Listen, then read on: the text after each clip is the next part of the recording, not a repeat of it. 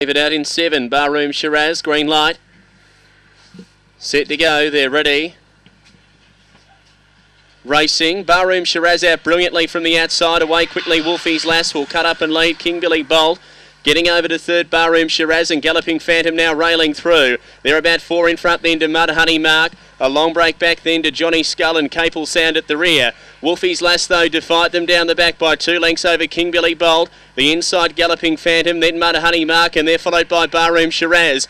On the home bend, Wolfie's Lass, a narrow leader. Galloping Phantom, though, getting the rails run. Chiming in King Billy Bolt. Galloping Phantom grabbed by King Billy Bolt. And King Billy Bolt got there one ahead, Galloping Phantom. Third to Barroom Shiraz. By gee, the favourite got home hard. Then Wolfie's Lass in the photo with Capel Sound for fourth. Well back then, Johnny Skull. And it was the last one to clock in with Mud Honey Mark in 31.20.